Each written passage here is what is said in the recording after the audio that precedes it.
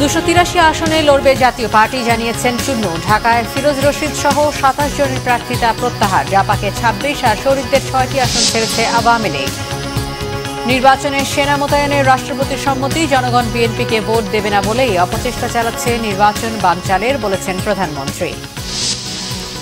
নির্বাচনের নামে নাটক না করে কাকে কোথায় জয়ী ঘোষণা করা হবে সেই তালিকা প্রকাশ করুন, বললেন নজরুল ইসলাম খান। হরতাল একদিন পিছিয়েছে বিএনপি। নির্বাচনের পর বাংলাদেশে আরও বসন্ত ঘটাতে পারে যুক্তরাষ্ট্র। আশঙ্কা রাশিয়ার গণ অভ্যুত্থানের লক্ষণ নেই বলেছেন ওবায়দুল কাদের।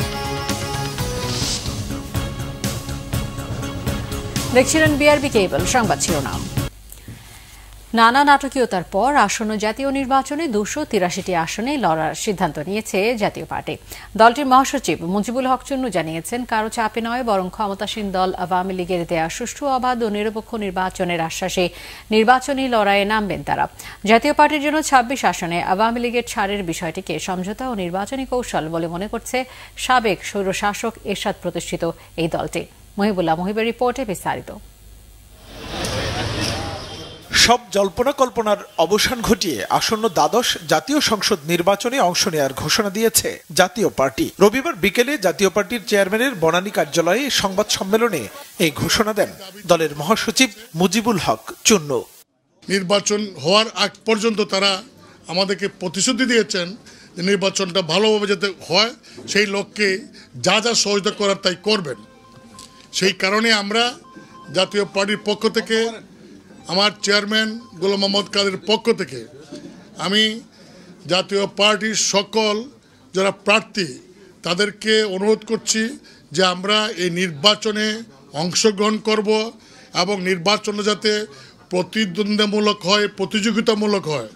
আমরা সেই লক্ষ্যেই কাজ করে যাব। দুইশো তিরাশিটি আসনে বৈধ হয়েছে, সেইখানে আমরা নির্বাচন করব। কিছু কিছু আসনে আমাদের যারা অনেকে আছেন, একটু সিনিয়র নেতা কি সমস্ত আসনে আসনে যারা নির্বাচন করে রাজনৈতিক দল, তাদের সাথে হয়তোবা একটা আমাদের একটা সমঝোতা হয়েছে বা হবে এরকম একটা অবস্থা আছে। বাট নির্বাচনে আমরা যাচ্ছি, এটাই হলো বড় কথা। তবে এমন ঘোষণার পর নেতাকর্মীদের মাঝে দেখা যায় মিশ্র প্রতিক্রিয়া। কর্মীদের কেউ কেউ মনে করছেন সমঝোতা আর ভাগাভাগির এই নির্বাচনে অংশ নিয়ে জাতীয় পার্টি আরও বেশি দুর্বল হয়ে পড়বে। জাতীয় পার্টির যারা অন্য অন্য আসনের ছিল তাদেরকে এক ধরনের কুরবানি করা হয়েছে। দুশো তিরাশিটি আসনে যদি নির্বাচন করেন তাহলে জাতীয় পার্টি অত্যন্ত শক্তিশালী আবার দল ঘুরে দাঁড়ানোর সম্ভাবনা আছে। আর যদি ভিতরে ভিতরে যদি কোনো লিয়াজু হয় পঁচিশটা বা তিরিশটা যদি লিয়াজু হয় তাহলে জাতীয় পার্টি আবার একবার হুসুর খাওয়ার সম্ভাবনা আছে। আমরা জানি সুস্থ নির্বাচন হলে জন সুস্থ হওয়ার আশা আছে এখন যদি সুস্থ না হয় তাহলে নির্বাচন বর্জন হইতে পারে। যার যার যেখানে প্রার্থী যদি সুস্থ না হয়, নির্বাচন বর্জন হয়ে যাবে। পাঁচ সাতশো লোক থাকবে কেন্দ্রে, ওরা ঘুরে ঘুরে ভোট দেবেন ভোট নির্বাচন সুষ্ঠু হয়েছে। পুলিশের কোনো দুর্নাম থাকবে না এবার নির্বাচনে। গত বছর তো পুলিশের নির্বাচন হয়েছে, পুলিশ রাত্রে নির্বাচন করে দিয়েছে, এটা আর ওইটা করবেন এটা এবার জনগণই নির্বাচন করে পাঁচ সাতশো লোক সেন্টারে থাকবে, তারা ঘুরে ঘুরে ভোট দেবে, নির্বাচন সুষ্ঠু হয়ে যাবে, ইনশাল্লাহ।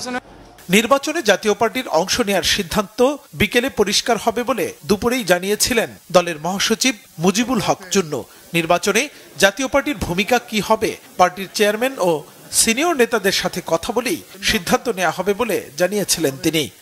চেয়ারম্যান। মুহিবুল্লাহ মুহিব বাংলা ভিশন ঢাকা।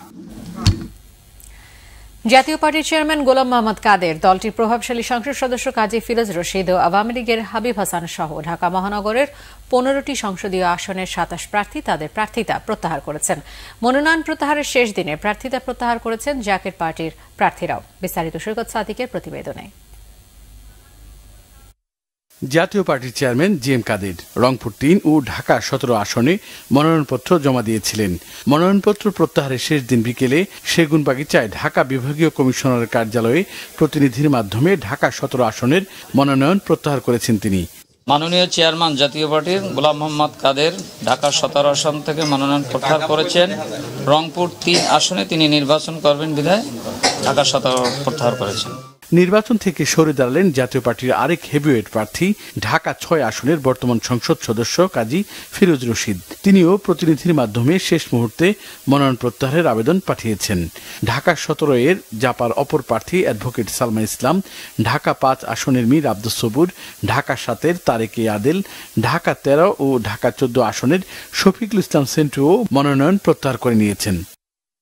ঢাকা মহানগরের আওতাধীন ঢাকা আঠারো আসনের আওয়ামী লীগের মনোনীত নৌকা প্রতীকের প্রার্থী বর্তমান সংসদ সদস্য হাবিব হাসানও তার মনোনয়নপত্র প্রত্যাহার করেছেন। ঢাকা মহানগরের সব আসনে জাকের পার্টির প্রার্থীরা তাদের মনোনয়ন প্রত্যাহার করে নিয়েছেন। দলের হাইকমান্ডের নির্দেশে এমন সিদ্ধান্ত বলে জানিয়েছেন তারা।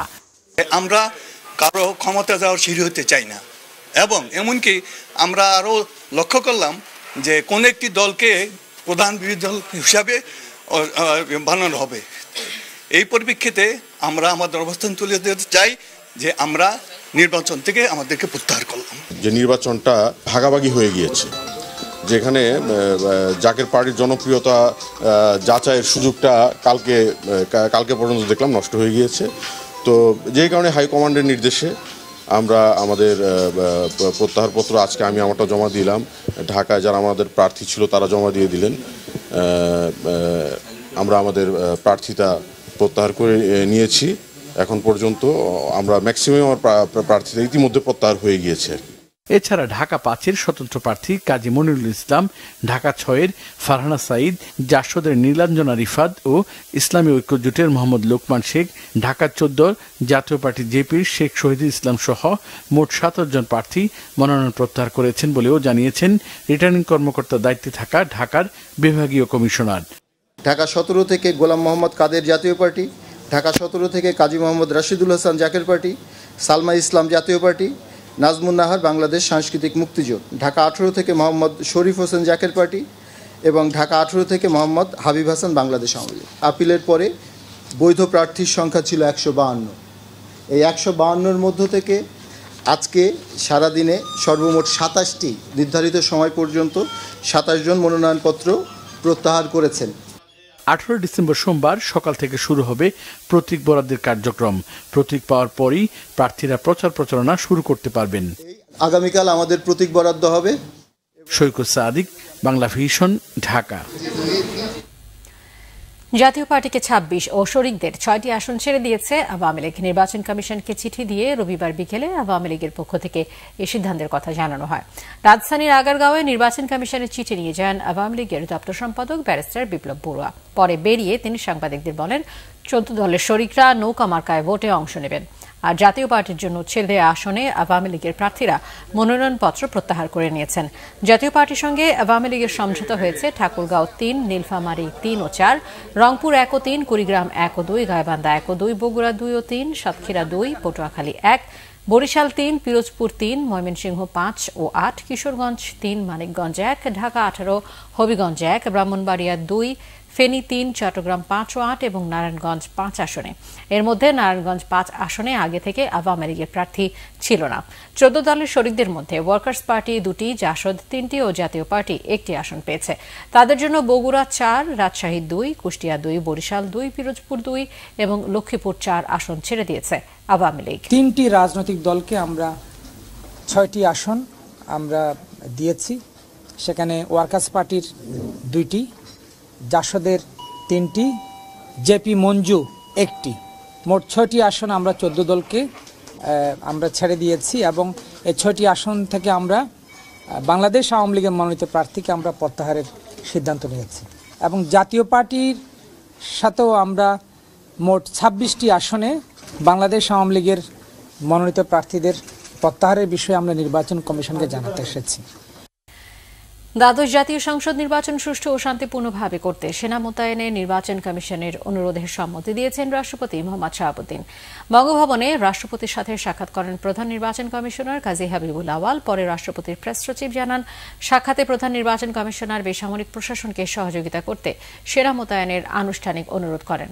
রাষ্ট্রপতি এ সময় সংশ্লিষ্ট সকল পক্ষের সাথে আলোচনা করে পরবর্তীতে সেনা মোতায়েনের তারিখ ও সময় জানানোর বিষয়টি নিশ্চিত করেন। এদিকে নির্বাচনে সেনাবাহিনী মোতায়েনের কথা জানান ইসি সচিব জাহাঙ্গীর আলম। বলেন, সেনাবাহিনীকে স্ট্রাইকিং ফোর্স হিসেবে মাঠে রাখার ব্যাপারে নীতিগত সিদ্ধান্ত হয়েছে। এছাড়া জাতীয় নির্বাচনের আগে ও পরে মোট তেরো দিনের জন্য সশস্ত্র বাহিনীর সদস্যদের মোতায়েনের পরিকল্পনা ইসির।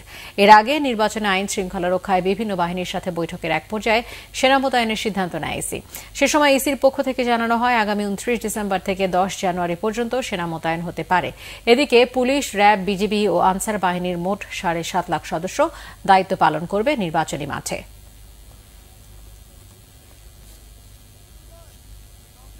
সংবিধানের একশো বিশ অনুচ্ছেদ অনুযায়ী মাননীয় নির্বাচন কমিশন, বাংলাদেশের সশস্ত্র বাহিনীর সর্বাধিনায়ক, মহামান্য রাষ্ট্রপতির নিকট দ্বাদশ জাতীয় সংসদ নির্বাচনে ইন এইট টু সিভিল পাওয়ারের আওতায় বেসামরিক প্রশাসনকে সহায়তা করার জন্য, সামরিক বাহিনী নিযুক্ত করার জন্য মহামান্য রাষ্ট্রপতির নিকট অনুরোধ যাচনা করেছেন। মহামান্য রাষ্ট্রপতি বিষয়টি শ্রবণ করেছেন। এই বিষয়ে তিনি আশ্বাস দিয়েছেন যে সশস্ত্র বাহিনী বিভাগের সাথে আলোচনা করে অতি সহসাই এই বিষয়ে মহামান্য রাষ্ট্রপতির সিদ্ধান্ত জানিয়ে দেবেন। উনি নীতিগতভাবে দ্বাদশ জাতীয় সংসদ নির্বাচনে ইন টু সিভিল পাওয়ার আওতায় বেসামরিক প্রশাসনকে সহায়তা করার জন্য সামরিক বাহিনীর সহায়তা প্রদানে সম্মত হয়েছেন। আওয়ামী লীগ সভাপতি ও প্রধানমন্ত্রী শেখ হাসিনা বলেছেন, জনগণ বিএনপিকে ভোট দেবে না। সে কারণে নির্বাচন বানচাল ও সরকার উৎখাতের অপচেষ্টা চালাচ্ছে। আন্দোলনের নামে তারা এখন মৃত্যু ফাঁদ তৈরি করে মানুষ হত্যা করছে অভিযোগ করে ঐক্যবদ্ধভাবে প্রতিরোধ গড়ে তোলার কথা বলেন প্রধানমন্ত্রী। রিপোর্ট সৈয়দ আব্দুল মোহিতের। বিজয় দিবস উপলক্ষে রবিবার রাজধানীর বঙ্গবন্ধু আন্তর্জাতিক সম্মেলন কেন্দ্রে আওয়ামী লীগের আলোচনা অনুষ্ঠানে যোগ দেন দলটির সভাপতি প্রধানমন্ত্রী শেখ হাসিনা। বক্তব্যে সরকার প্রধান বলেন, স্বাধীনতার পর একমাত্র দল আওয়ামী লীগ, যারা শান্তিপূর্ণভাবে ক্ষমতা হস্তান্তর করেছে। ক্ষমতায় থাকাকালে বিএনপির দুঃশাসন, লুটপাট, অর্থ পাচার জনগণ মেনে নেয়নি। সে কারণে দু হাজার আট সালে তাদের প্রত্যাখ্যান করে বলে মন্তব্য করেন বঙ্গবন্ধু কন্যা। নির্বাচন তাদের নানা ফ্যাকরা। ইলেকশন করবে না। আসলে ইলেকশনটা করবে কীভাবে? আমি তো বলেছি যে ওই দলের তো মাথা নাই, তারা আন্দোলনের নামে মানুষ পোড়ায়। আন্দোলনের নামে রেল গাড়িতে যাতে অ্যাক্সিডেন্ট হয়, আর একটা অ্যাক্সিডেন্ট হওয়া মানে কি? কত মানুষের মৃত্যু। অর্থাৎ মৃত্যুর ফাঁদ তৈরি করে তারা, করে মানুষ হত্যা করে। আমি জানি না বিএনপির নেতারা কি করে। একজনে বলেছিল যে, আমরা যখন পল্টনে তারে কেন লন্ডনে তো ওখান থেকে হুকুম দেয় আর এখান থেকে তারা আগুন দেয়। ওখান থেকে হুকুম দেয় আর এখানে যারা আগুন দেয়, তারা কি মনে করে? এই যে আগুন দিয়ে খেলা, এই খেলা ভালো না। বাংলাদেশের মানুষ এটা কখনো মেনে নেবে না। সরকার প্রধান বলেন, বাংলাদেশে আগুন সন্ত্রাসের নির্দেশ আসে লন্ডন থেকে। প্রধানমন্ত্রী বলেন বিএনপির চরিত্র এখনও বদলায়নি, তাদের মুখে গণতন্ত্রের কথা মানায় না। তারা মানুষের কল্যাণ নয়, নিজেদের কথা চিন্তা করে, আগুন নিয়ে খেলা ভালো নয় বলে সতর্ক করে দেন তিনি। যারা মানুষ করুণা করবার জন্য রেল লাইনের পাত ফেলে দেয়, রেল লাইনের লাইন কেটে রাখে, আর আগুন দিয়ে মানুষ পোড়ায় এদের বিরুদ্ধে সমগ্র দেশের মানুষকে প্রতিরোধ গড়ে তুলতে হবে।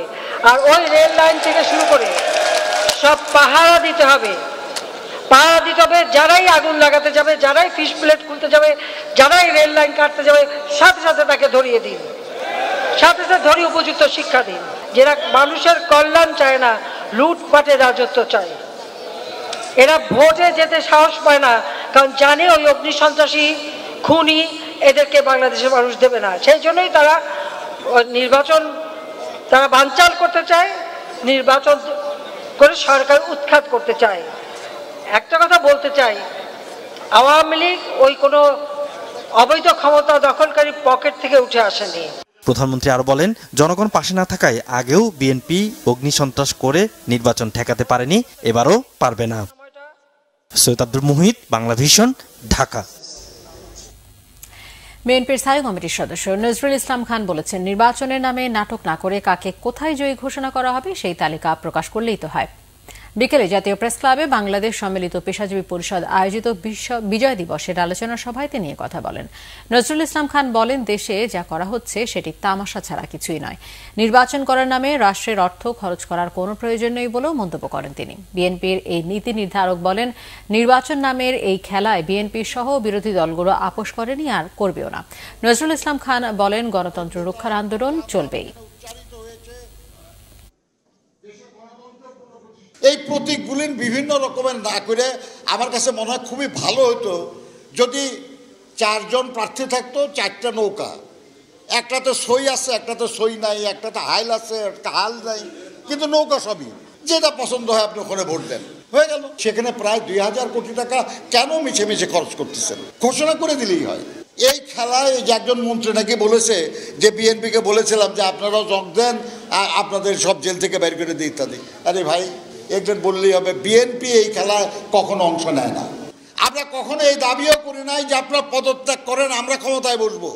নো আমরা বলেছি আপনারা পদত্যাগ করেন, একটা নির্দলীয়, নিরপেক্ষ সরকারের অধীনে। নির্বাচন হোক, অবাধ, সুষ্ঠু নির্বাচন, সবাই অংশগ্রহণ করুক, জনগণ যাকে ভোট দেবে, তারা বিজয়ী হবে এবং তারা সরকার গঠন করবে। আমার সেই ভাইয়ের মতো এখনও হতাশ এদিকে বিএনপির পূর্ব ঘোষিত আগামীকাল সোমবার ডাকা হরতাল। একদিন পিছিয়ে মঙ্গলবার ডাকা হয়েছে। কুয়েতের আমির শেখ নওয়াফ আল আহমেদ আল জাবের আল সাবাহর মৃত্যুতে কাল বাংলাদেশ রাষ্ট্রীয় শোক পালন করবে। এই কারণে বিএনপি এই সিদ্ধান্ত নিয়েছে। রবিবার দুপুরে বিএনপির সিনিয়র যুগ্ম মহাসচিব রুহুল কবির রিজভি এক ভার্চুয়াল ব্রিফিংয়ে এই তথ্য জানান। বিএনপির পক্ষ থেকে এবং সমমনা দলগুলোর পক্ষ থেকে আগামীকালকের যে হরতাল কর্মসূচি ঘোষণা করা হয়েছিল আগামীকাল সোমবার, সেটি কুয়েতের আমির Sheikh Nawaf Al Ahmad Al Jaber Al Sabah ইন্তেকাল করায়। তার সম্মানার্থে যেহেতু রাষ্ট্রীয় শোক ঘোষণা করা হয়েছে, এই কারণে কালকের হরতাল আগামী পরশুদিন মঙ্গলবার সকাল সন্ধ্যা অনুষ্ঠিত হবে। প্রধান বিচারপতির বাসভবনে হামলার অভিযোগে করা মামলায় বিএনপির মহাসচিব মির্জা ফখরুল ইসলাম আলমগীর, আমিন রুল শুনানির জন্য আগামী তিন জানুয়ারি ধার্য করেছে হাইকোর্ট। রবিবার বিচারপতি মোহাম্মদ সেলিম ও বিচারপতি শাহিদ নুরুদ্দিনের সমন্বয়ে গঠিত বেঞ্চ এই দিন ঠিক করে। সাত ডিসেম্বর হাইকোর্ট বিএনপির মহাসচিব মির্জা ফখরুল ইসলাম আলমগীরকে কেন জামিন দেওয়া হবে না তা জানতে চেয়ে রুল জারি করে। রাষ্ট্রপক্ষকে সাত দিনের মধ্যে এই রুলের জবাব দিতে বলা হয়। গত আঠাশ অক্টোবর বিএনপির মহাসমাবেশ শুরুর আগে প্রধান বিচারপতির বাসভবনে হামলা চালানোর অভিযোগে মির্জা ফখরুল সহ উনষাট বিএনপির নেতার বিরুদ্ধে রমনা থানায় একটি মামলা করে পুলিশ। এরপর উনত্রিশ অক্টোবর গুলশানের বাসা থেকে মির্জা ফখরুলকে আটক করে ডিবি পুলিশ। মির্জা ফখরুল ইসলাম আলমগীরের জামিন আবেদন নিম্ন আদালতে কয়েক দফায় নামঞ্জুর হলে তিনি হাইকোর্টে এই জামিন আবেদন করেন। নিবেদন করেছিলাম যে কালকে কোনোভাবে হিয়ারিং করা যায় কিনা। উনি অসুস্থ, তো আদালত শেষ পর্যন্ত আমাদেরকে শুনে টুনে আগামী তিন তারিখে মামলাটা শুনানির জন্য ফিক্স করেছে। যেহেতু এই মামলায় মির্জা ফখরুল ইসলাম আলমগীরের কোনো সংশ্লিষ্টতা নাই, আদালত অত্যন্ত বিচক্ষণার সাথে এই মামলাগুলো, মামলাটি দেখবেন এবং আশা করি তখন আমরা হিয়ারিংয়ের পরে আশা করি তিনি বেল পাবেন। বিরোধী মতের নেতারা বলেছেন, বিরোধী জোটের কণ্ঠরোধ করতে নির্বাচন কমিশনের ঘাড়ে বন্দুক রেখে সভা সমাবেশ নিষেধাজ্ঞায় দেশে কার্যত জরুরি অবস্থা জারি করেছে সরকার। নির্বাচন নিয়ে সরকারের তামাশা চরমে পৌঁছেছে। এই নির্বাচনে যারা যাবে, তারাও জনতার শত্রুতে পরিণত হবে। অবিলম্বে নির্বাচন তাফসিল বাতিলের দাবি জানান তারা। জাহাঙ্গীর আখন্দ রিপোর্ট। সভা সমাবেশের উপর নিষেধাজ্ঞার প্রতিবাদ এবং নির্বাচনের তফসিল বাতিলের দাবিতে নির্বাচন কমিশন কার্যালয় অভিমুখে বিক্ষোভ মিছিল কর্মসূচি পালন করেছে সিপিবি বাম গণতান্ত্রিক জোট। বেলা সাড়ে এগারোটার দিকে পুরানাপল্টন মোড় থেকে মিছিল নিয়ে নির্বাচন কমিশনের দিকে যাত্রা করেন জোটের নেতাকর্মীরা। মিছিলটি প্রেস ক্লাব পার হয়ে কদম ফোয়ারা পৌঁছলে বাধা দেয় পুলিশ। এ সময় নেতাকর্মীদের সাথে পুলিশের ধস্তাধস্তি হয়। পরে সেখানেই বসে পড়েন তারা। আওয়ামী লীগের সরকার এখনও সময় আছে। এই পথ থেকে ফিরে আসো। এই আত্মঘাতী পথ দেশ আগামীতে আর একটা বড় সংকটে পড়তে যাচ্ছে। অতএব আজকে যদি মানুষের ভালো চাও, এই নির্বাচনের শিডিউল যেটা ঘোষণা হয়েছে, এইটা বাতিল করো। নির্বাচন কমিশন পুনর্গঠন করো। নতুন নির্বাচনী তফসিল ঘোষণার আগে নির্দলীয় নিরপেক্ষ তদারকি সরকার গঠন করো। এদিকে সভা সমাবেশের উপর নিষেধাজ্ঞার প্রতিবাদে জাতীয় প্রেস ক্লাবের সামনে সমাবেশ করে গণতন্ত্র মঞ্চ। এতে নেতারা বলেন সভা সমাবেশের উপর নিষেধাজ্ঞা বেআইনি ও সংবিধান পরিপন্থী। অংশগ্রহণ কারা করছে? আমরা আর মামুরাই। মানে ওনাদের জোটের লোকেরাই। কিন্তু আসন ভাগাভাগি যে তাদের উদ্দেশ্য সেটা খুবই পরিষ্কার। এই নির্বাচন যে তামাশা, বাংলাদেশের মানুষ বুঝে গেছে, সরকার চায় আমাদের কণ্ঠরোধ করতে। তার জন্য সরাসরি জরুরি অবস্থা ঘোষণা করলে এটা সরকারের একটু রাজনৈতিক পরাজয় হয়। তাই তারা নির্বাচন কমিশনকে দিয়ে তাদের ঘরে বন্দুক রেখে স্বরাষ্ট্র মন্ত্রণালয়কে চিঠি দেওয়া হলো আর সেই চিঠি পেতে না পেতেই তারা সাথে সাথে সমস্ত সভা সমাবেশের উপর নিষেধাজ্ঞা দিয়ে দিল। নিষেধাজ্ঞা দিয়ে কার্যত দেশে একটা জরুরি অবস্থা শাসন জারি করলেন। কেউ যদি আজকে বেআইনি ভাবে অসাংবিধানিক ভাবে নাগরিকদের এই অধিকার কেড়ে নিতে চায়, কোনোভাবেই সেটাকে জনগণ মানতে বাধ্য নয়। এই নির্বাচনে যারা যাবেন, তাদেরকে মানুষ আজকে এই বলতে পারেন এই দখলদারিত্ব, জবরদখল ফ্যাসিবাদের সহযোগী হিসাবে মানুষ তাদেরকে চিহ্নিত করবে। সমাবেশ শেষে জাতীয় প্রেস ক্লাব থেকে বের হয় গণতন্ত্র মঞ্চের মিছিল। জাহাঙ্গীর আকন্দ বাংলা ভিশন, ঢাকা। নির্বাচনের পর বাংলাদেশে আরব বসন্তের মতো কাণ্ড ঘটাতে পারে যুক্তরাষ্ট্র, এমন আশঙ্কা প্রকাশ করেছে রাশিয়া। এক বিবৃতিতে রুশ পররাষ্ট্র মন্ত্রণালয় এই আশঙ্কা প্রকাশ করেছে। রুশ পররাষ্ট্র মন্ত্রণালয়ের মুখপাত্র মারিয়া জাকারোভা বলেন, আগামী কয়েক সপ্তাহে নিষেধাজ্ঞা সহ কয়েকটি পদ্ধতিতে বাংলাদেশের উপর চাপ প্রয়োগ করতে পারে যুক্তরাষ্ট্র। বলেন, সাত তারিখে নির্বাচনের পর আরব বসন্তের মতো পরিস্থিতি তৈরি হওয়ার ঝুঁকি রয়েছে। বাংলাদেশের প্রধান শিল্প প্রতিষ্ঠানগুলো বাইডেন সরকারের টার্গেট হতে পারে বলেও উল্লেখ করেন তিনি। গণতান্ত্রিক প্রক্রিয়াকে বাধাগ্রস্ত করতে সরকারি কর্মকর্তাদের অভিযুক্ত করা হতে পারে জানিয়ে তিনি বলেছেন, অকাট্য প্রমাণ ছাড়াই যুক্তরাষ্ট্র এসব অভিযোগ আনবে। সরকার বিরোধী বিক্ষোভ, যান চলাচল বন্ধ, বাস পোড়ানো এবং পুলিশের সঙ্গে সংঘর্ষের ঘটনা উল্লেখ করে তিনি অভিযোগ করেছেন। এবার এসবের সঙ্গে পশ্চিমা একটি কূটনৈতিক মিশনের সংযোগ রয়েছে। আওয়ামী লীগের সাধারণ সম্পাদক ওবায়দুল কাদের বলেছেন, সাত জানুয়ারির নির্বাচনকে ভাগাভাগি নির্বাচন বলা উদ্দেশ্য প্রণোদিত। কোনো বাধাই এই নির্বাচনকে ঠেকাতে পারবে না। বাংলাদেশে আরব বসন্তের কোনো যৌক্তিক উপাদান নেই বলেও মন্তব্য তার। তাইমুর রশিদের রিপোর্ট। দলীয় সভাপতির ধানমন্ডির রাজনৈতিক কার্যালয়ে সংবাদ সম্মেলন করেন আওয়ামী লীগের সাধারণ সম্পাদক ওবায়দুল কাদের। বলেন, নির্বাচনের সবকিছু যথারীতি এগিয়ে চলেছে। তার প্রশ্ন, বিএনপি কোন মুখে সুষ্ঠু নির্বাচনের কথা বলে? স্মরণ করিয়ে দেন, শান্তিপূর্ণভাবে ক্ষমতা হস্তান্তর একমাত্র আওয়ামী লীগই করেছে।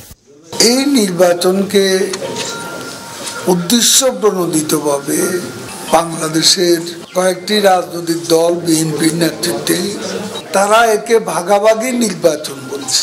যে নির্বাচনে দুই হাজার দুশো ষাট জন প্রার্থী প্রতিদ্বন্দ্বিতা করে, সেটা ভাগাভাগি নির্বাচন কেমন করে? যে নির্বাচনে আঠাশটি রাজনৈতিক দল অংশ নিচ্ছে সেটা ভাগাভাগি নির্বাচন কেমন করে হলো? আমাদের কোনো আশঙ্ক কোনো শঙ্কা নেই কোনো উদ্বেগ নেই। আমরা নির্ভীক চিত্তে নির্বাচনের দিকে এগিয়ে যাচ্ছি। ওবায়দুল কাদের জানান সমঝোতা হওয়া আসনগুলো থেকে প্রত্যাহার করা হবে নৌকার প্রার্থীদের। কথা বলেন জাতীয় পার্টি প্রসঙ্গেও। জাতীয় পার্টির নিজস্ব চাওয়া আছে। চাইবে আমাদের কাছে কাছে চাওয়াটা বড়ই হতে পারে। চাওয়া তো কেউ ছোট হয় না। কিন্তু আমাদেরও সামর্থ্য কতটা আছে তাদের সাথে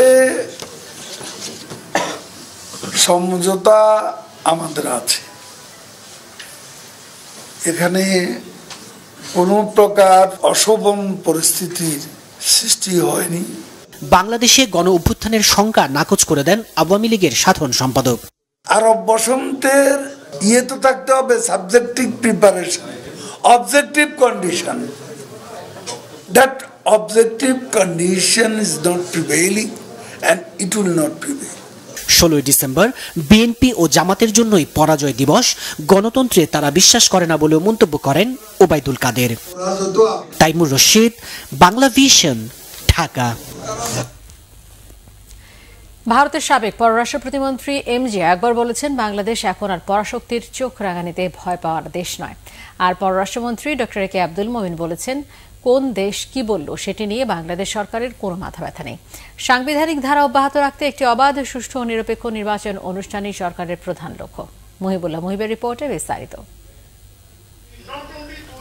বিজয়ের বাউন্ন বছরে বাংলাদেশের অর্জন এবং ভবিষ্যৎ শীর্ষক সেমিনার অনুষ্ঠিত হয়।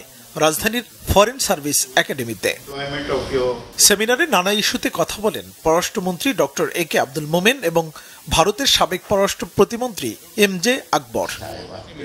পরে সাংবাদিকদের বিভিন্ন প্রশ্নের জবাব দেন ভারতের সাবেক পররাষ্ট্র প্রতিমন্ত্রী। বাংলাদেশ বাইরের চাপে নতি স্বীকার করবে না বলে সাহস দেন তিনি।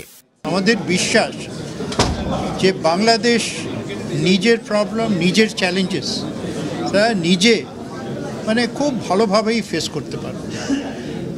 সবচেয়ে বড় যে আমি মনে করি, শেখ হাসিনার কন্ট্রিবিউশন আর শেখ শেখ হাসিনার হিস্টোরিক কন্ট্রিবিউশন সেটা হচ্ছে প্রথম তো আমি বললাম যে as leader of the second liberation war কিন্তু তার সাথে মাত্র লিবারেশন টুয়ার্ডস ডেমোক্রেসি না it's also liberation from hunger আর উনি যে করছেন যে বাংলাদেশকে মাত্র একটা সাকসেসফুল দেশ বানাচ্ছেন সেটা তো বটেই।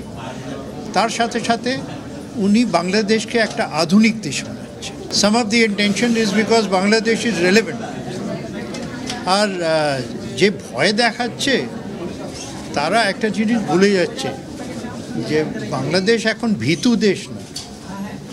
তো ভয় দেখালেই যে আমি ভয় পাবো ইট ডাজন্ট ওয়ার্ক দ্বাদশ জাতীয় নির্বাচনকে কেন্দ্র করে যুক্তরাষ্ট্রের হস্তক্ষেপ নিয়ে রাশিয়ার দেয়া বিবৃতি সম্পর্কে পররাষ্ট্রমন্ত্রী এ কে আব্দুল মোমেন বলেন বাংলাদেশ নিয়ে কে কি বলল তা কেবল সাংবাদিকদের চিন্তা সরকার এ নিয়ে ভাবে না। আপনারা এই রাশিয়া আমেরিকা এগুলো ঝামেলা ওগুলো আমাদের কোনো আপনাকে মানে আমাদের পররাষ্ট্র মন্ত্রণালয়কে আমাদের কেউ জানায় নাই।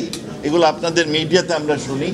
আমাদের কেউ এগুলো বানানে এগুলো ওই সমস্ত দেশে আপনারা গল্প we don't want to direct into any problem আমরা আমাদের একটা ফ্রি ফেয়ার আমরা ইলেকশন করতে যাচ্ছি আর আমরা একটা very balance very balance foreign policy maintain করছি আমরা বাকি কিছু যাই না।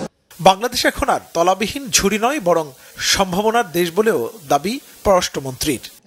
মুহিবুল্লাহ মুহিব বাংলা ভিশন ঢাকা। তথ্য ও সম্প্রচার মন্ত্রী হাসান মাহমুদ বলেছেন, রাজনীতির নামে ধ্বংসাত্মক রাজনীতি দেশের অর্থনীতির অগ্রগতিকে স্লথ করে দিয়েছে। সকালে রাজধানীর কাকরাইলে তথ্য ভবন মিলনায়তনে তথ্য ও সম্প্রচার মন্ত্রণালয়ের অধীন চলচ্চিত্র ও প্রকাশনা অধিদপ্তর আয়োজিত বিজয়ের বাউন্ন বছর শীর্ষক অনুষ্ঠানে প্রধান অতিথির বক্তব্যে কথা বলেন তথ্যমন্ত্রী। বাংলাদেশকে একটি মানবিক ও সামাজিক কল্যাণমূলক রাষ্ট্র হিসেবে গড়ে তোলা এবং দেশ থেকে নেতিবাচক, ধ্বংসাত্মক রাজনীতি চিরতরে নির্মূল করার প্রত্যয় তুলে ধরেন। অনুষ্ঠানের শুরুতে ডিএফপি নির্মিত অপরাজয় বাংলাদেশ গীতিনাট্য প্রদর্শন ও আলোচনা শেষে সাংস্কৃতিক অনুষ্ঠান হয়। আমাদের এই উন্নয়ন অগ্রগতি আমরা আরও বহুদূর এগিয়ে যেতে পারতাম। যদি দেশে নেতিবাচক রাজনীতি, ধ্বংসাত্মক রাজনীতি না থাকত। নেতিবাচক রাজনীতি এবং ধ্বংসাত্মক রাজনীতি আমাদের দেশের অগ্রগতিকে শ্লত করেছে। আজকেও যে নেতিবাচক রাজনীতি হচ্ছে, ধ্বংসাত্মক রাজনীতি হচ্ছে, রাজনীতির নামে মানুষ পড়ানো হচ্ছে, রাজনীতির নামে গাড়ি ঘোড়া পোড়ানো হচ্ছে, রাজনীতির নামে ট্রেন লাইন কেটে ফেলা হচ্ছে রাজনীতির নামে ট্রেনে অগ্নিসংযোগ করা হচ্ছে। দেশের চল্লিশ জন বিশিষ্ট ব্যক্তি অবিলম্বে সংসদ ভেঙে দিয়ে সুষ্ঠু, নিরপেক্ষ ও প্রতিদ্বন্দ্বিতামূলক নির্বাচনের দাবি জানিয়েছেন। এক যৌথ বিবৃতিতে এই দাবি জানান তারা। বলেন, সকল দলের অংশগ্রহণ ও সুষ্ঠু প্রতিদ্বন্দ্বিতার সুযোগ সৃষ্টির মাধ্যমে নতুনভাবে নির্বাচন আয়োজনের পদক্ষেপ নিতে সরকারের প্রতি আহ্বান তাদের। বিবৃতিতে তারা ঘোষিত তফসিল বাতিল করে জানুয়ারির তৃতীয় সপ্তাহে জাতীয় সংসদ ভেঙে দিয়ে পরবর্তী নব্বই দিনের মধ্যে নির্বাচন অনুষ্ঠানের আহ্বান জানান। নির্বাচনের আগে নির্বিচারে মামলা, গ্রেফতার, সাজা প্রদান ও নির্যাতনের মাধ্যমে বিরোধী দলের নেতাকর্মীদের নির্বাচন, এমনকি রাজনীতির মাঠ থেকে সরিয়ে দেওয়া হয়েছে বলেও বিবৃতিতে অভিযোগ করা হয়েছে। বিবৃতিদাতাদের মধ্যে রয়েছেন সাবেক তত্ত্বাবধায়ক সরকারের উপদেষ্টা ও সুজন সভাপতি এম হাফিজউদ্দিন খান। অবসরপ্রাপ্ত বিচারপতি মোহাম্মদ আব্দুল মতিন, বাংলাদেশ ব্যাংকের সাবেক গভর্নর ড. সালেউদ্দিন আহমেদ, অবসরপ্রাপ্ত brigadier general M Sakhawat Hossain, ড. আনু মোহাম্মদ, আলী ইমাম মজুমদার, ড. সৈয়দ মরগুব মোর্শেদ ও মানবাধিকার কর্মী ড. হামিদা হোসেন। কিশোরগঞ্জ দুই, পাকুন্দিয়া, কটিয়াদি আসনের স্বতন্ত্র প্রার্থী, অবসরপ্রাপ্ত মেজর আক্তারুজ্জামান বলেছেন, বিএনপি নির্বাচন বর্জন করেছে কিন্তু প্রতিহত করতে বলেনি। প্রতিহত করা অপরাধ বলে মন্তব্য করেছেন তিনি। সন্ধ্যায় কিশোরগঞ্জের পাকুন্দিয়ায় নির্বাচনী অফিস উদ্বোধনকালে তিনি বলেন, আমেরিকা বলেছে, যদি কেউ সুষ্ঠু অবাধ নির্বাচনে বাধা দেয় বা প্রতিহত করে, তবে সেটা হবে সন্ত্রাসী কার্যক্রম। অতএব সন্ত্রাসী কার্যক্রমে যারা জড়িত হবে, তারাই ভিসা নিষেধাজ্ঞায় পড়বে এবং তাদের সম্পত্তি বাজেয়াপ্ত হবে বলে উল্লেখ করেন অবসরপ্রাপ্ত মেজর আক্তারুজ্জামান নির্বাচন বিএনপি বর্জন করেছে। অর্থাৎ তারা নির্বাচনে যাবে না, কিন্তু প্রতিহত করতে পারে নাই। প্রতিহত করাটা হলো অপরাধ। বিএনপি এখন পর্যন্ত সেই কর্মসূচি দেয় নাই। আর দিতেও পারবে না। দিলে আমেরিকানরা ধরবে যে প্রতিহত করা আমেরিকার কথা লেখা আছে। প্রতিহত করা মনে হলো ক্রিমিনাল অফেন্স আমরা নির্বাচনে দাঁড়ানোর অন্যতম প্রধান কারণ হলো আমি দেশমাতা খালেদা জিয়ার মুক্তির জন্য আপনাদের কাছে ঘরে ঘরে যাব। আমার প্রতিটা ভোট যেটা আমি পাবো সেটা মনে করব দেশমাতা খালেদা জিয়ার মুক্তির জন্য ভোটটা দিয়েছে। এদিকে নির্বাচন কমিশনার আলমগীর হোসেন বলেছেন, দ্বাদশ সংসদ নির্বাচন নিয়ে বহির্বিশ্বের কোনো চাপ নেই। তিনি আরও বলেন, বিভিন্ন দেশের আগ্রহ নির্বাচন প্রক্রিয়া ও গ্রহণযোগ্য নির্বাচন নিয়ে।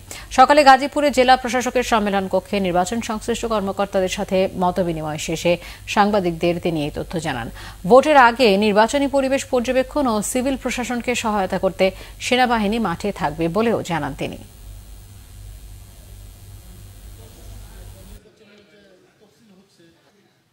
না, বহির্বিশ্ব আমাদের প্রতি কোনো চাপ নাই। তারা শুধু একটাই আমাদেরকে জিজ্ঞাসা করেন যে আমরা সুষ্ঠু নির্বাচনের জন্য যে সমস্ত কাজ করেছি, সেগুলো কি কি? সেটা জানতে চান, আর কিছুই না। যেখানে যখন পুলিশ বা প্রশাসন বা রিটার্নিং অফিসার তারা, বা প্রিজাইডিং অফিসার যেখানে যখন মনে করবেন যে সেখানে মুভমেন্ট করা প্রয়োজন, সেখানে সেনাবাহিনী যাবেন এবং আমাদের যে বেসামরিক যে শান্তি শৃঙ্খলা রক্ষার জন্য যে বাহিনী আছে তাদেরকে তারা অ্যাসিস্ট করবেন। বাংলাদেশের ওয়ার্কার্স পার্টি নৌকা প্রতীকে নির্বাচনে অংশ নিলেও আওয়ামী লীগের স্বতন্ত্র প্রার্থীদের নিয়ে কিছুটা চিন্তিত বলে জানিয়েছে দলটির সভাপতি রাশেদ খান মেনন। সকালে নগরীর কাউনিয়া এলাকায় সাংবাদিকদের সাথে মত বিনিময়কালে কথা বলেন তিনি। মেনন জানান, প্রথমে বরিশাল তিন আসনে তাকে মনোনয়ন দেওয়া হলেও জাতীয় পার্টির সাথে আসন বন্টনের কারণে তাকে বরিশাল দুই আসনে মনোনীত করা হয়েছে। স্থানীয় আওয়ামী লীগ নির্বাচনে তাকে জয়ী করতে কাজ করবে বলেও দাবি করেন তিনি। রাশেদ খান মেনন উনিশশো উনআশি ও উনিশশো একানব্বই সালে বরিশাল দুই আসন থেকে সংসদ সদস্য নির্বাচিত হন। এরপর দু হাজার চোদ্দ ও আঠারো সালের নির্বাচনে ঢাকা আট আসন থেকে সংসদ সদস্য নির্বাচিত হন। আওয়ামী লীগের সাথে মিটিং আছে। উপজেলা কমিটির সাথে। ওরা বর্ধিত সভা ডেকেছেন আমি সেখানে যাব। বানের পাড়ায় সেখানে তারা বর্ধিত সভা ডেকেছেন সেখানে আমি যাব। তাছাড়া এই অঞ্চলে তাদের যে মুরব্বী আছেন আবুল হাসান সাহেব। তিনিও একটা ইতিবাচক নির্দেশ তারা প্রদান করেছেন বলে আমি জেনেছি। সুতরাং আমি মনে করি সেই সহযোগিতা পাবো যদিও এই ধরনের স্বতন্ত্র থাকার ফলে হয়তো কিছু অসুবিধা তৈরি হতে পারে। কিন্তু আমি জনগণের ভোটের মানুষ জনগণের উপর নির্ভর করি সবসময়। আমি বিশ্বাস করি জনগণ সারা দিয়ে এগোবেন। আচরণবিধি লঙ্ঘনের দায়ে অভিযুক্ত রাজশাহী এক আসনের স্বতন্ত্র প্রার্থী চিত্রনায়িকা মাহিয়া মাহি নির্বাচনী অনুসন্ধান কমিটির কাছে সশরীরে উপস্থিত হয়ে ক্ষমা চেয়েছেন। সকালে আইনজীবীকে সাথে নিয়ে অনুসন্ধান কমিটির চেয়ারম্যান ও রাজশাহীর যুগ্ম জেলা ও দায়রা জজ আবু সাইদের এজলাসে হাজির হয়ে এই আবেদন জানান তিনি। পরে মাহিয়া মাহি সাংবাদিকদের নির্বাচনী পরিবেশ সুষ্ঠু দাবি করে শেষ পর্যন্ত মাঠে থাকার ঘোষণা দেন। তিনি বলেন, আদালত কঠোরভাবে তাকে নির্বাচনী আচরণবিধি মেনে চলার নির্দেশ দিয়েছেন। আদালতকে ঘটনার ব্যাখ্যা দিয়ে বিষয়টি ক্ষমা সুন্দর দৃষ্টিতে দেখার অনুরোধ জানিয়েছেন তিনি। এর আগে শুক্রবার নির্বাচনী অনুসন্ধান কমিটির চেয়ারম্যান যুগ্ম জেলা ও দায়রা জজ আবু সাইদ স্বতন্ত্র প্রার্থী মাহিয়া মাহিকে কারণ দর্শানোর নোটিশ পাঠান।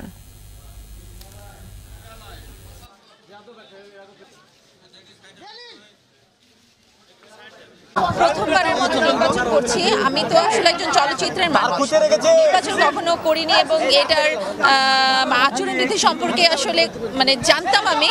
তবুও একটু কিছু তো কনফিউশন থেকে গিয়েছিল। সেখান থেকে আসলে আমার ভুল হয়েছে। আমি যদিও আমি দোয়া চেতে গেছি আমি কারও কাছে মুখ দিয়ে উচ্চারণে করিনি ভোট চাই ভোট চাইনি।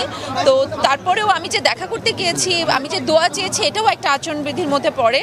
আমি তার জন্য আসলে ক্ষমা সুন্দর দৃষ্টিতে দেখার অনুরোধ করেছি। দেশের বৈদেশিক মুদ্রার রিজার্ভ পঁচিশ দশমিক আট দুই বিলিয়ন ডলার, তবে আন্তর্জাতিক মুদ্রা তহবিল আইএমএফ এর হিসেবে সেই আকার বিশ দশমিক চার এক বিলিয়ন ডলার।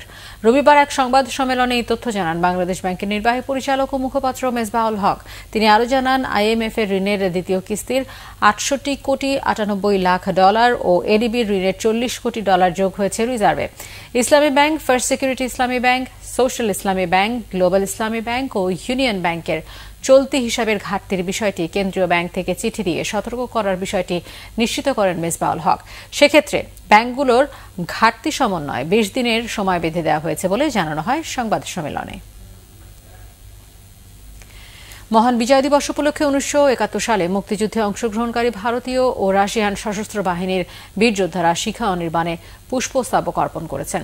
সেনা, নৌ ও বিমান বাহিনীর প্রধানের সাথে সৌজন্য সাক্ষাৎ করেছেন বিদেশি বীর যোদ্ধারা। রবিবার সকালে ঢাকা সেনানিবাসে অবস্থিত শিখা অনির্বাণে উনিশশো একাত্তর সালে মুক্তিযুদ্ধে অংশগ্রহণকারী ভারতীয় এবং রাশিয়ান সশস্ত্র বাহিনীর বীর যোদ্ধারা পুষ্পস্তাবক অর্পণ করেন। এরপর সেনা সদর দপ্তরে সেনাবাহিনীর প্রধান জেনারেল এস এম শফিউদ্দিন আহমেদের সঙ্গে সাক্ষাৎ করেন বিদেশি বীর যোদ্ধারা। আর্মি মাল্টিপারপাস কমপ্লেক্স সেনাবাহিনীর প্রধান general S M Shafiuddin Ahmed, পার্বত্য চট্টগ্রাম এবং জাতিসংঘ শান্তিরক্ষা মিশনে বিভিন্ন অপারেশনাল কর্মকাণ্ডে বীরত্বের জন্য সেনা সদস্যদের সম্মাননা দেওয়া হয়। সকাল দশটার দিকে ভারতীয় এবং রাশিয়ান সশস্ত্র বাহিনীর বত্রিশ জন বীর যোদ্ধা সৌজন্য সাক্ষাৎ করেন নৌবাহিনী প্রধান অ্যাডমিরাল এম নাজমুল হাসানের সঙ্গে। পরে ভারতীয় সশস্ত্র বাহিনীর ছত্রিশ জন এবং রাশিয়ার চার জনের একটি প্রতিনিধি দল বিমান বাহিনীর প্রধান air chief marshal Sheikh Abdul হানানের সাথে সৌজন্য সাক্ষাৎ করেন।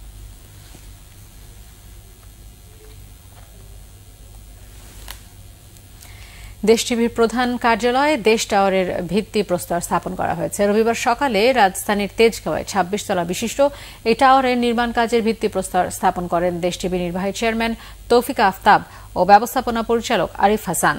ভিত্তিপ্রস্তর উন্মোচন শেষে দোয়া ও মোনাজাত করা হয়। এ সময় উপস্থিত ছিলেন দেশ টিভির সংবাদকর্মী ও অন্যান্যরা।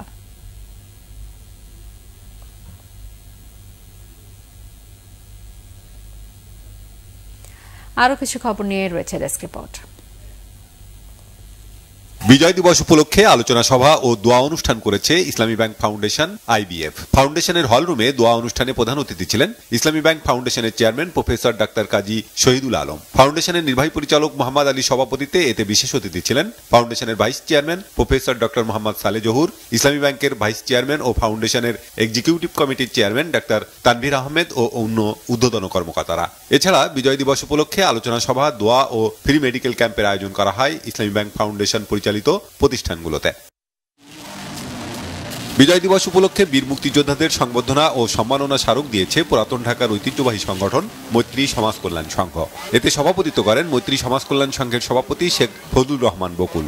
অনুষ্ঠানের দ্বিতীয় পর্বে মুক্তিযুদ্ধ ভিত্তিক চলচ্চিত্র প্রদর্শনী, পিঠা উৎসব, চিত্রাঙ্কন ও ব্যাডমিন্টন প্রতিযোগিতা এবং বিভিন্ন শিক্ষা প্রতিষ্ঠানের শিশু কিশোরদের অংশগ্রহণে সাংস্কৃতিক অনুষ্ঠান হয়।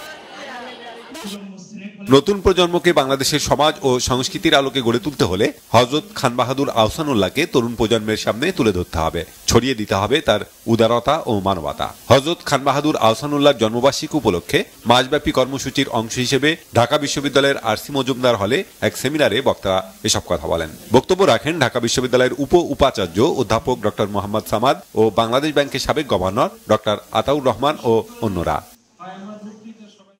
ভবিষ্যৎমুখী উদ্ভাবনের ধারাবাহিকতায় গ্রামীণ ফোন নিয়ে এলো আইওটি প্রোডাক্ট লাইন ও অ্যাপ আলো। রাজধানীর একটি হোটেলে এক অনুষ্ঠানের মাধ্যমে গ্রামীণ ফোন আটটি আইওটি পণ্য উন্মোচন করে, যেগুলো জীবনযাত্রার প্রতিটি ধাপে স্মার্ট সলিউশন নিশ্চিতে কার্যকরী ফলাফল বয়ে আনবে। অনুষ্ঠানে উপস্থিত ছিলেন গ্রামীণ ফোনের chief executive officer Yasir Azman, chief business officer doctor Asif Naimur Rashid, chief marketing officer Mohammad Sajjad Habib সহ অন্যরা। মাদক সেবন রোধ করি, সুস্থ সুন্দর জীবন গড়ি। এ প্রতিপাদ্যে মাদক মুক্তদের নিয়ে রিকভারি মিলন মেলা হয়েছে সাভারে। কারিতাস ঢাকা অঞ্চলের economic reintegration of drug recoveries in Bangladesh প্রকল্পের অনুষ্ঠানে প্রধান অতিথি ছিলেন মাদকদ্রব্য নিয়ন্ত্রণ অধিদপ্তরের ঢাকা বিভাগের অতিরিক্ত পরিচালক মজিবুর রহমান পাটোয়ারি। অনুষ্ঠানে মাদক ছেড়ে দেয়া বিশ জনকে ক্ষুদ্র ব্যবসায় সহায়তা হিসেবে আঠারো হাজার টাকা করে তুলে দেওয়া হয়। এছাড়া বিভিন্ন ইভেন্টে খেলাধুলায় বিজয়ীদের মাঝে পুরস্কার বিতরণ করা হয়। কানাডিয়ান ইউনিভার্সিটি অব বাংলাদেশে এইচএসসি উত্তীর্ণ কৃতি শিক্ষার্থীদের doctor Nafis merit scholarship award দেওয়া হয়েছে। এই আয়োজনে উপস্থিত ছিলেন বিশ্ববিদ্যালয়ের ট্রাস্টি বোর্ডের চেয়ারম্যান ও বিশিষ্ট শিল্প উদ্যোক্তা ডক্টর চৌধুরী নাফিস শারাফাত, আব্দুল মোনেম গ্রুপের managing director Mainuddin Monem, director Farhana Monem এবং ইউজিসির সচিব ডক্টর ফেরদৌস জামান। বিনম্র শ্রদ্ধা শোক গাথা স্মৃতি রোমন্থন সহ নানা কর্মসূচিতে পালিত হয়েছে শহীদ মুক্তিযুদ্ধ দিবস। শহীদ মুক্তিযোদ্ধা স্মৃতি ফাউন্ডেশন ও শান্তমরিয়াম ফাউন্ডেশনের যৌথ উদ্যোগে মুক্তিযুদ্ধ জাদুঘরে এ আয়োজনে আলোচক ছিলেন লেখক, প্রকাশক ও মুক্তিযুদ্ধ জাদুঘরের ট্রাস্টি মফিদুল হক। উপস্থিত ছিলেন শহীদ মুক্তিযোদ্ধা স্মৃতি ফাউন্ডেশন ও শান্তমরিয়াম ফাউন্ডেশনের চেয়ারম্যান ডাক্তার মোহাম্মদ আহসানুল কবির এবং শান্তমরিয়াম ইউনিভার্সিটি অব ক্রিয়েটিভ টেকনোলজির বোর্ড অব ট্রাস্টিজের চেয়ারম্যান শিল্পী অধ্যাপক মুস্তাফিজুল হক ও অন্যরা। অনুষ্ঠানে সম্মাননা জানানো হয় একাত্তরের এক বীরঙ্গনাকে। এবিজি বসুন্ধরা বিজয় দিবস গল্ফ টুর্নামেন্টের পুরস্কার বিতরণ অনুষ্ঠান হয়েছে। কুর্মিটোলা গল্ফ ক্লাব ঢাকা সেনানিবাসে এতে প্রধান অতিথি ছিলেন সেনাবাহিনী প্রধান general S M Shafiuddin Ahmed. তিন দিনের এই টুর্নামেন্টে দেশি বিদেশি ছয়শো পঞ্চান্ন জন গল্ফার অংশ নেন। বিজয়ী হন শাহজাদ আর Majid. Bangla vision news desk. সংবাদ শেষ করব। বিআরবি কেবল শিরোনামগুলো আরও একবার জানি। দুশো তিরাশি আসনে লড়বে জাতীয় পার্টি, জানিয়েছেন চূর্ণ ঢাকায় ফিরোজ রশিদ সহ সাতাশ জনের প্রার্থিতা প্রত্যাহার। জাপাকে ছাব্বিশ আর শরিকদের ছয়টি আসন ছেড়েছে আওয়ামী লীগ। নির্বাচনে সেনা মোতায়েনে রাষ্ট্রপতির সম্মতি, জনগণ বিএনপিকে ভোট দেবে না বলেই অপচেষ্টা চালাচ্ছে নির্বাচন বানচালের, বলেছেন প্রধানমন্ত্রী। নির্বাচনের নামে নাটক না করে কাকে কোথায় জয়ী ঘোষণা করা হবে, সেই তালিকা প্রকাশ করুন, বললেন নজরুল ইসলাম খান। হরতাল একদিন পিছিয়েছে বিএনপি। নির্বাচনের পর বাংলাদেশে আরব বসন্ত ঘটাতে পারে যুক্তরাষ্ট্র। আশঙ্কা রাশিয়ার। গণ অভ্যুত্থানের লক্ষণ নেই বলেছেন ওবায়দুল কাদের। এই ছিল এখনকার মতো। পরের সংবাদ রাত একটা দেখার আমন্ত্রণ রইল। এছাড়া বাংলা ভিশন সংবাদ ও সংবাদ সংশ্লিষ্ট অনুষ্ঠান দেখতে ভিজিট করুন www.bbnews24.com ও facebook.com slash নিউজে এবং সাবস্ক্রাইব করুন। youtube.com slash নিউজে ধন্যবাদ সবাইকে।